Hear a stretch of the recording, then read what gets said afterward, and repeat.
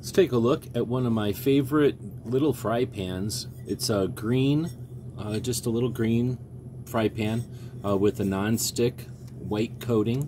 Uh, looks great when it's hanging on the wall. It comes with a green uh, rubber grip. I take that off so it looks different hanging on the wall. Uh, nice big hole, so no problem hanging on any hooks you might have. Uh, and it's got just a little bit of style here with the little flare to the handle so it doesn't look quite as clunky. And this is great for making a small egg uh, uh, dish in the morning, uh, for doing a snack or a small lunch, and uh, for side things if you just need a few, uh, some garlic or some onions or something.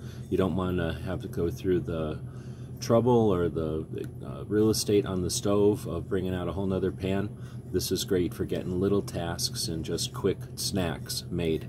And uh, it looks cool. It looks really cool on the, uh, on the rack. Uh, great color and easy to clean.